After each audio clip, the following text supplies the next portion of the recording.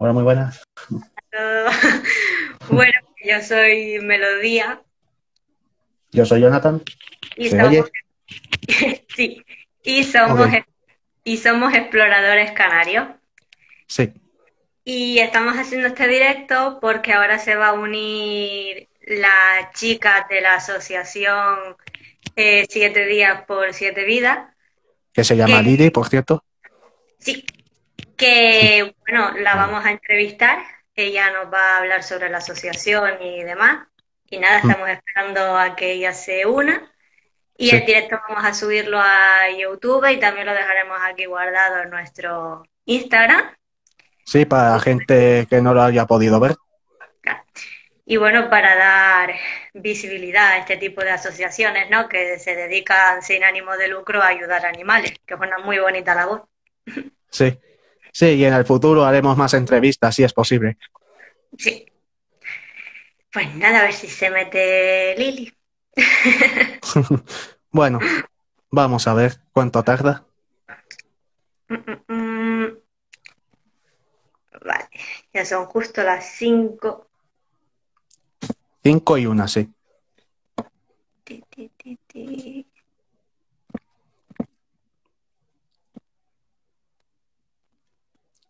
Vale, la acabo de invitar. Me salió una opción para invitar a alguien Vale, a ver. A ver si se está. Vamos a ver. Exploradores en acción. Ay, ya está Lili. Hola, buenas. A ver si sé darle la vuelta a esto. Hola. Hola. muy buenas. Buenas. Buenas. Bueno, antes que nada, darte las gracias por aceptar esta entrevista. Sí, muchas gracias. Nada, gracias a ustedes por, darnos la oportunidad de, estar aquí con ustedes. Gracias bueno, a ti. pues, si te parece, empezamos ya con las preguntas que te tenemos. Vale, perfecto. Bueno, la primera es que si nos puedes hablar de la asociación, a qué se dedican, dónde se encuentran, cuál es su propósito, desde cuándo están activos.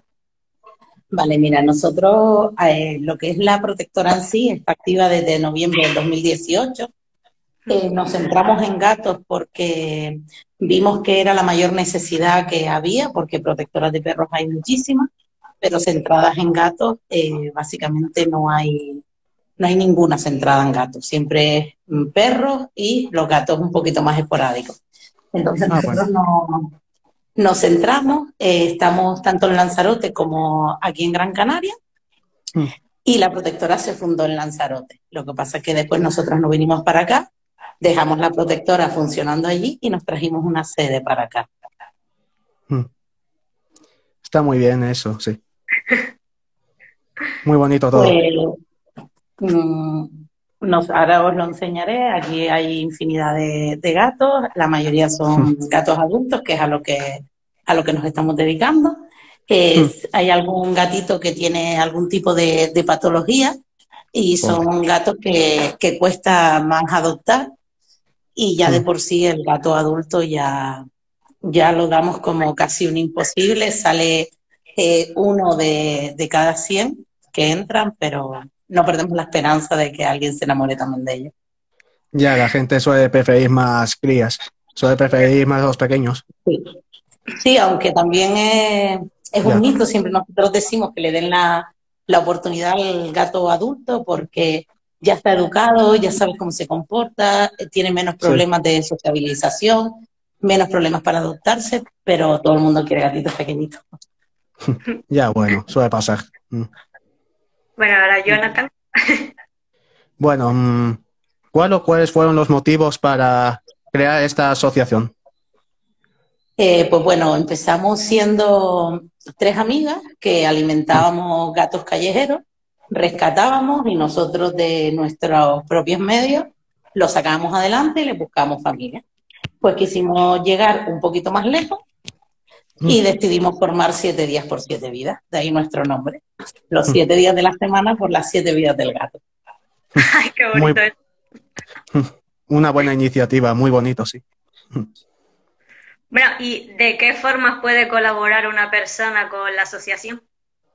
Pues se puede colaborar de muchas maneras. Se puede ser casa de acogida, que siempre estamos a falta de casa, sobre todo ahí en Lanzarote, porque en Lanzarote no tenemos, a pesar de que la iniciamos ahí, no tenemos refugio. Aquí en Gran Canaria sí, pero en Lanzarote no. Mm. Ah. Y en Lanzarote trabajamos todo con casas de acogida. Nosotros ponemos la alimentación, los gastos veterinarios y lo que necesitamos son esas personas voluntarias que pongan su casa y su amor para que puedan acoger a un gatito con todos los gastos pagados hasta que se le encuentre una casita. También pueden hacerse teaming, eh, que es por un euro al mes, nos ayuda a nosotros a que, a que podamos seguir ayudando, mm. o con cualquier tipo de donación, ya sea de arena, que aquí sobre todo en Gran Canaria utilizamos mucha arena, mm. eh, que es donde tenemos el refugio, ahora lo veréis. Y, después la mm, haciendo de voluntariado, porque nosotros vamos, nos subsistimos, por así decirlo, de donaciones y de lo que hacemos en los stands. Entonces necesitamos voluntarios que nos acompañen y nos ayuden a hacer esos stands. Entonces, aunque no lo crean, mm, que puedan tres horas o dos horas, a nosotros eso nos ayuda muchísimo. Y como te digo, si ya se hacen casas de acogida, ya eso es divino. Pues muy bien. Vale. Mm, ¿Sois organizar? No, a ver, perdón. ¿Sois colaborar con otras organizaciones de animales? Sí, y con ayuntamientos también. Nosotros, por ejemplo, mm. aquí en Gran Canaria colaboramos con, eh, con el Ayuntamiento de Galdar, con Bienestar Animal Galdar. Muchos de los gatos que están aquí en el refugio de Gran Canaria provienen del municipio de Galdar.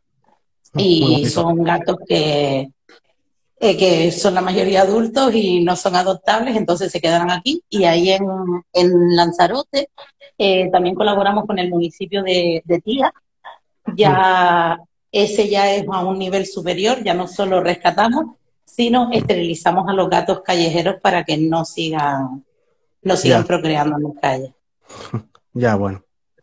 Y si alguien no es ni de Gran Canaria ni de Lanzarote, pero le gustaría colaborar, ¿de qué manera puede ayudar desde la distancia? Eh, también puede, puede hacer donaciones al, al, número de cuenta de la protectora o bien al BISU, eh, que no hace falta que aporte mucho dinero, con lo que se pueda, a nosotros nos viene genial. Cualquier importe, que son muchísimos gatos los que alimentar, nos estamos gastando unos 1.500 en alimentación, y, bueno, ya en arena ni te cuento. ya en arena también es bastante elevado. Vale. Mm, vale, sois ayudar mucho a gatos, pero también sois ayudar a otro tipo de animales, ya sea conejos, perros y eso, o solo gatos. No, no, sí, nosotros estamos centrados en gatos porque era el mayor problema que había cuando eh, estamos grandes olvidados, pero Hemos entregado una adopción conejo, denunciamos casos de maltrato animal de, perros, como fue aquí en Arucas el caso de Mimosín y Keila, ah, que salió hasta en la prensa. Después en, mm. en, la zona de Guía, Santa María de Guía, denunciamos el caso de los cuatro perros aquellos que se comieron a un gato vivo.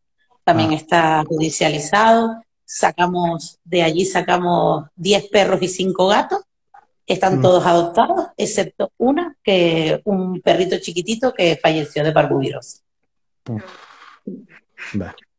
Pero de resto, mm, seguimos denunciando. Ahora mismo tenemos también en la, en la zona de Galdar eh, mm. una denuncia de, bueno, eso no te quiero decir mucho porque todavía está ahí en el tintero, que está, está denunciado un caso de, de maltrato e insalubridad y, ahí estamos luchando para, que salga adelante. Que independientemente de que estemos especializados en gatos, eh, si vemos un caso de maltrato animal, por supuesto que lo, denunciamos.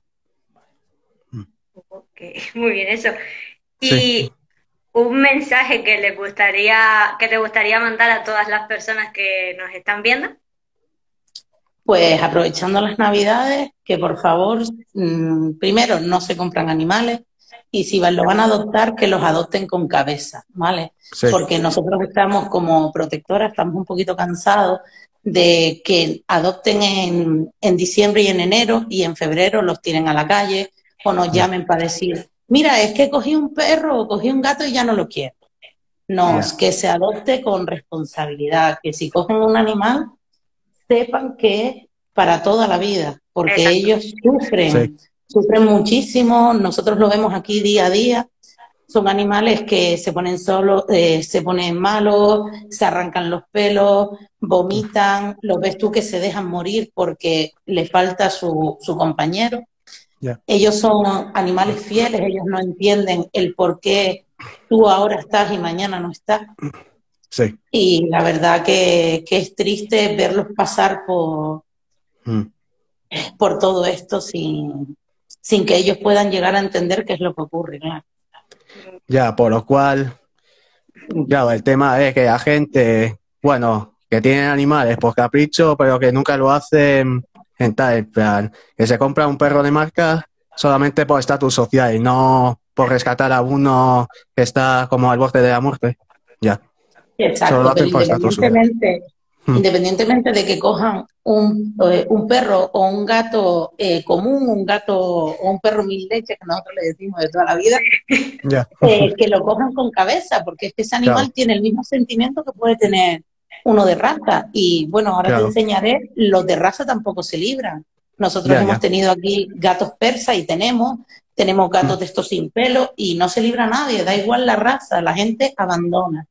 Entonces pedimos reiteradamente que si van a coger un animal, que lo cojan con cabeza. Y súper importante, esterilizarlo. No tengáis camada tras camada, porque después esas camadas que no las sacan adelante terminan en las calles, en los contenedores, es horrible. Lo que nosotros vivimos a diario es mm. horrible. Ya, muy horrible, sí, muy mal. Y bueno, iba a preguntarte de lo que, de la gente, en caso de que quiera organizar, perdón, colaborar vuestra asociación, si hay que tener algún tipo de experiencia, pero como ya lo dijiste antes, pues esa era mi pregunta. No, no necesitas experiencia. Nosotros te enseñamos, nosotros damos damos charlas, damos cursos ah. si es necesario para enseñar a la gente. Nosotros hemos enseñado a personas a dar biberones, que hasta lo puede dar una niña siempre que tenga experiencia. Y es más, ahí en Lanzarote eh, dos niñas nos sacaron una cama entera de, gatitos hacia adelante. y eran, dos niñas, ¿sabes? Que quieras o no, siempre con el apoyo de, de, un adulto, claro, de su mamá y en este caso de su abuela. Pero se puede hacer y siempre mm. fomentar el amor hacia los animales, la esterilización súper importante y tener cabeza de que el animal para toda la vida. Sí, sí. Muy de acuerdo a eso, sí, claro. Lo importante siempre es el amor. siempre lo digo. Pues claro. ¿Y querías enseñarnos algo? Sí, bueno. Le voy a dar la vuelta a la cámara para que la podáis ver. Mira. Esto es parte de, la ah. protectora. Como te dije, no se libran los animales de raza, Nico. No se libran, ¿vale? Este fue traído de Lanzarote, este vino de Las Palmas, estos los abandonaron. Ginger, ella va a su bola. La abandonaron en, en Aruca. y bueno, como puedes ver, tenemos, ella por ejemplo es arena, no tiene cornete, entonces nadie la quiere. Este es Blue, este es Chip, lo devolvieron después de dos años, entonces quieras o no. Este Fígaro, le falta un ojito, se cogió de, una colonia. Pobre. Entonces se le, se le nucleó el ojo y ya no, no se pudo, no se pudo devolver a la calle. Después, mira, por eso te digo que las razas no se libran. Mira. Dos sin pelo, Uy, Daza es un poquito más especial. ¿Eh? Esta es nuestra abuelita, que la pobre no puede más que con, con su vida, ya tiene casi 20 años y aquí sigue. También se fue cogida de una colonia, por eso tienen estos cortes en la oreja. ¿Vale? Porque es como que está, que está esterilizada. Y lo que pasa es que ella ya estaba viejita y se trajo de vuelta. Mm. Tenemos cachorro, que te digo que aquí este tiene enanismo, o no, ¿O no? Él tiene tres años, pero no crece, parece un bebé siempre. Ya. Y bueno, como puedes ver, la mayoría de los gatos que tenemos son, son adultos. Ya. Muchos de ellos tienen, como te dije, patología. Y, y bueno, fomentar que le den la oportunidad a un, a un gato adulto. Porque Sí, la eso- verdad que lo necesitan, son súper cariñosos, hay de todo, ¿vale? Pero muchos de ellos son muy cariñosos Mm. y necesitan una oportunidad. Igual que el gato negro, si tú puedes ver, muchos gatos son negros, Sí. Porque, porque nadie lo- los adopta por superstición. Mira, aquí tenemos otra Ya. gatita adulta y es súper cariñosa. Mm. Entonces, esto es más o menos lo que hay. En Lanzarote hay muchos más también. Mm. Lo que pasa es que en Lanzarote esto, nosotros aquí tenemos la zona de hospitalización, que hoy no entramos porque los queremos dejar un poquito tranquilos porque tenemos Sí. eh, un gatito que tiene las dos patas partidas Ay, porque lo, lo abandonaron, lo intentamos coger y se, del miedo que tenía salió Ya, corriendo y lo Mm. atropelló un coche y le partió las dos patas traseras. Ay. Ay, pobre. Entonces está en reposo, eh, está todavía asustado, un poquito arisco, a mí me ataca. Pero eh, Ya, de normal. resto va- Es normal. de resto muy bien. También tenemos perros, aunque no lo, aunque ellos están ahí durmiendo. Vamos, venga, vamos. Pero a ver si sale.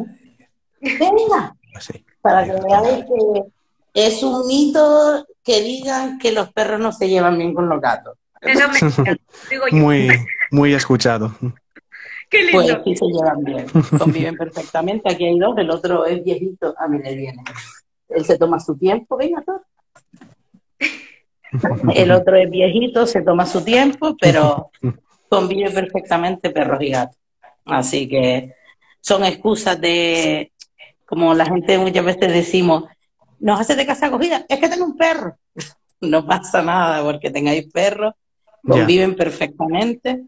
Fíjate Sí, sí. que aquí hay mucho perro, hay mucho gato adulto y los perros no es que sean pequeños, ¿vale? No es que sean de raza pequeña.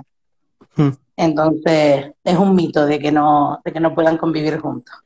Ya, todo es depende del dueño, del cuidado que tenga. Exacto, todos los animales es según lo, lo Sí. eduques. Como mismo, fíjate que este es un lo que vulgarmente se llama PPP, pero después es súper tonto. ¿Sabes? Se lleva bien, me chupe. Sobre todo cuando tenemos bebés, él los chupetea, los bautiza, como nosotros decimos. Si él no los bautiza, no está tranquilo. Y, y yo me puedo, y yo me puedo levantar y estar lo más de tranquila, porque sé que no le va a hacer nada. Es más, duerme con una gatita. ¿Sabes? Mm. Que Qué lindo. pueden tener perros y gatos mezclados y Claro. sobre todo si pueden, como te digo, si pueden ser casas de acogida, sería divino. Se puede colaborar de muchas maneras. Y todos Mm. están ahí juntos hasta que los adoptan. Sí, aquí están todos juntos hasta que hasta que se adopten. Es mucho eh, mucho tiempo que hay que invertirles y sobre todo mucho limpiar. Ya, pero merece la pena. Sí, Ya, pero merece la pena por salvarlos, claro. sí, merece aparte mucho la de, pena. sí, aparte de lo que tenemos aquí, Mm. alimentamos a gatos de, de colonias también. Son gatos que desgraciadamente no, no como Fígaro, que Fígaro se pudo sacar. Hay gatos que desgraciadamente no, no se adaptan a una casa, pues no nos Mm. queda otra que, que alimentarlos en la calle. Ya. Pero bueno. Uy, me quito todo. Directo. Pero es bueno eso de que, de ver Mm. que conviven todos juntos, porque así también como que ustedes enseñan que realmente sí que los animales saben adaptarse y convivir y demás. O sea que es bueno Claro. eso que están enseñando. Exacto. Es Sí. más, todos los gatos que, eh, sobre todo aquí en Gran Canaria, en Lanzarote hay casas de acogida que no tienen perros, pero aquí Mm. en Gran Canaria todos los gatos que, se, que salen de aquí del refugio están acostumbrados a vivir con otros gatos y con perros. Mm. Entonces no, no hay mayor problema. Ya. Mira, Ahí. mira, mira. A ver. Cosas del directo, mira. Ahí chupando, chupando a los gatos. ¿Sabes? Y se llevan, se llevan súper bien. Entonces, por eso te digo, Ya. Todo depende del dueño. excusa. Mm. Exacto. Todo depende de, de la educación. Mira, mira al gato. A ver, todo es la, la educación que le, que les den. Sí.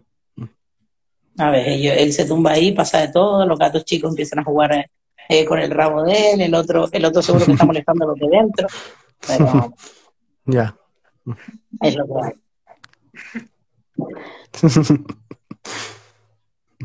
Muy bonito. Sí.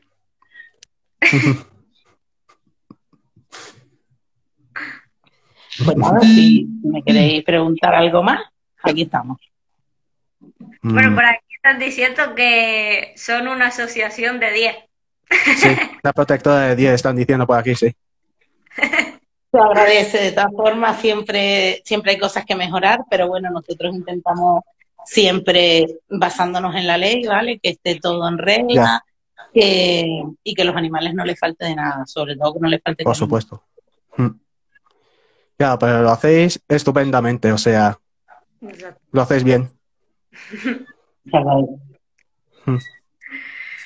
Bueno, pues queremos darte las gracias por dos cosas. La primera por hacer esta bonita labor, por tener un corazón tan bonito como el que tienen y enseñar el amor sobre todo, ¿no? Que yo siempre digo que un Sí. animal es para toda la vida, es un compañero de vida, es una familia que tú decides tener. Eso la Así gente debería tenerlo muy claro, que no son juguetes, sino que si quieres adoptar un animal que sea por lo mismo que tú has dicho, porque quieres un compañero de vida, amor para toda la vida. Y te damos las gracias por, por tú, ser una de esas personas que da ese mensaje al mundo y tener ese gran corazón. Gracias. Y lo Sí. siguiente, darte las Mm. gracias por, por haber aceptado que te hagamos esta entrevista. No, gracias, gracias a ustedes por, de cierta manera, darnos, darnos a conocer un, un poquito más. Eh, mira los perros jugando. Déjalo. Que tenemos, él es un cachorro, el gris es un cachorro, el otro es un abuelito y él se cree que puede con todo. Entonces, eh, gracias a ustedes, de verdad, darnos visibilidad de esta manera. eh, a nosotros esto nos llena, aunque no lo creáis, porque empezamos, nosotros empezamos siendo, siendo chiquitos y, y en, dos años nos vimos en dos islas, así que te puedes imaginar. Mm. Sí. Entonces, es un trabajo que también te digo, mucha gente nos insulta porque alimentamos a los gatos. O el otro día me tuve que parar en medio de la autovía porque dejaron un gato abandonado allí. y un señor pasó y me dijo, ¿estás loca? Pero claro, yo lo entiendo porque paré en medio de la autovía a coger el gato, ¿vale? Pero eh, nosotros pedimos que los respeten, sobre todo a los gatos de la calle, que no abandonen, que siempre hay una solución, siempre hay una protectora o Claro. la policía, el ayuntamiento. Desgraciadamente a mí no me gusta mucho que lo lleven al albergue, pero también eh, es otro sitio donde en el peor de los casos pueden ir, Mm. pero que no los abandonen, mucho menos los tiren a, a la basura. Son seres vivos con, con su corazoncito, que si se los ponen en el oído, su corazón late igual que el nuestro. Entonces, no los abandonen, por Dios. Sí, A sobre se- todo. Mm. Sí, sobre todo conciencia de que, que si ven a un perro, un gato callejero o lo que sea, pues que no les peguen o, o que no les griten, en plan, bueno, que no que los los maltraten. respeten, que los respeten. Mira, ningún Sí, sí. perro que esté en la calle va a ir a morderte, ni tampoco Ya. ningún gato, todo lo contrario, huyen de ti. Entonces, no, lo, Más- no los molestes, Claro, no los más miedo, molestes. claro, ellos tienen más miedo de nosotros que nosotros de ellos. Pues claro, el tema es ese. Claro y que que te- si ve, Mm. y nosotros también aprovechamos, si no os importa, de hacer Sí. un llamamiento a todas esas personas que ven un caso de maltrato animal y no Sí, que lo denuncian por denuncien. miedo.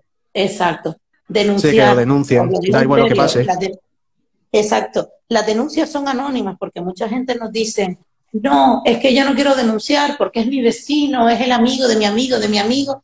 Denuncia, Claro. las denuncias son anónimas y se abre una investigación y le puede salvar la vida a ese animal.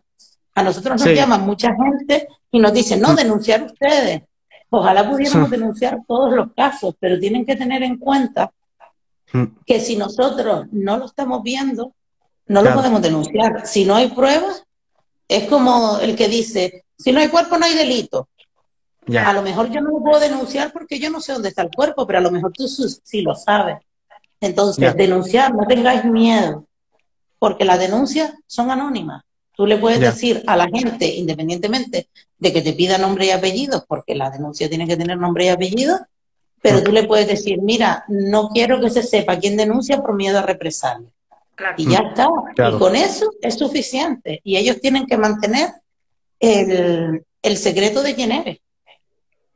Sí, sobre todo para la gente, sí, sobre todo para esa gente que vive con miedo, sí. En plan, que si, que si denuncio a mi tío, por ejemplo, que le pega tal, claro, luego si se entera me podría hacerme algo. Y claro, o sea, es que hay que salvar una vida que no puede defenderse por una que, bueno, que tiene posibilidades de defenderse. Exacto. Mm. Entonces, denunciar siempre, no molestéis a los gatos de la casa.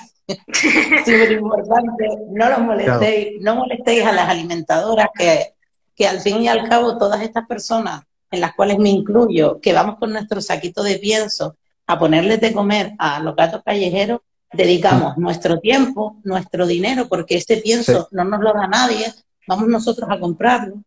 Esas garrafas de agua con las que vamos cargadas para que tengan agua limpia, también las costeamos nosotros. Entonces, no nos tiréis la comida. Claro. Dejar que los gatos puedan comer. Que, claro, claro, la gente no tiene conciencia, o sea, no sé. Es que por eso te digo, son el mm. mundo animalista, eh, animal está súper desprotegido. Encima ahora la, la, nueva ley de bienestar animal ha pasado lo que ha pasado y desgraciadamente no, no se incluye todo lo que se debería incluir. Pero bueno. Como, sí, como los perros de caza. Exacto. según me enteré. Exacto. Y lo más triste es que son los propios veterinarios los que han paralizado todo. Eso sí que es triste. Que unas personas que se supone que han estudiado una carrera mm, porque les gusta eh, puedan paralizar una ley que es tan necesaria. Ya. Entonces nosotros desde Siete Días por Siete Vidas mm, pedimos que denuncien el maltrato, que no se callen, que no molesten a los gatos ni a las alimentadoras, mm. que nosotros como alimentadoras también esterilizamos de nuestro bolsillo, ya no solo alimentamos, sino todos los meses compramos para los gatos esos que se dejan tocar una pipeta para ponérsela y no tengan pulgas o una pastillita que se la machacamos con la comida para que no tengan parásitos internos ni externos. Entonces, mm.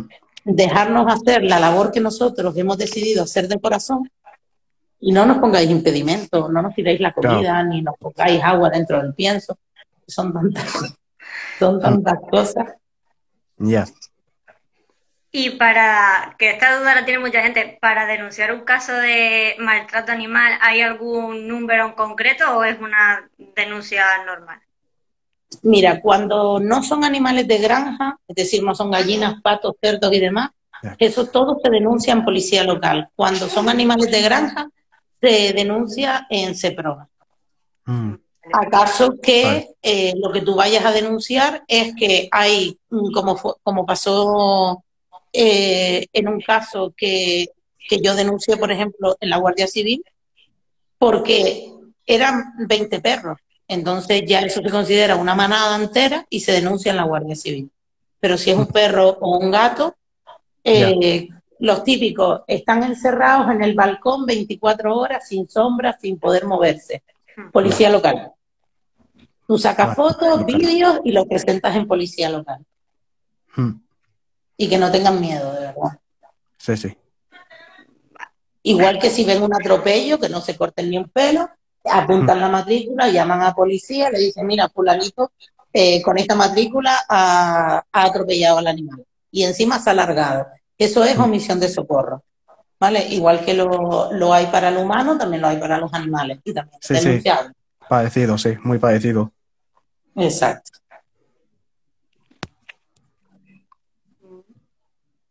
Pues muy bien.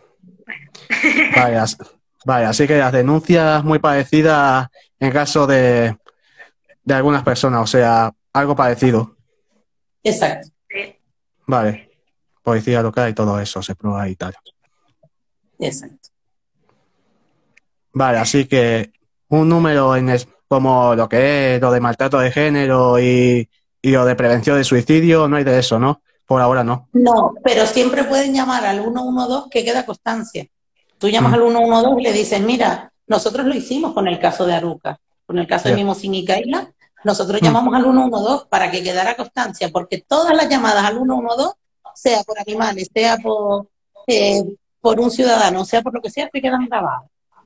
Entonces, si la policía no va, como fue en el caso de Aruca, pues ya te tomarán otro tipo de medidas.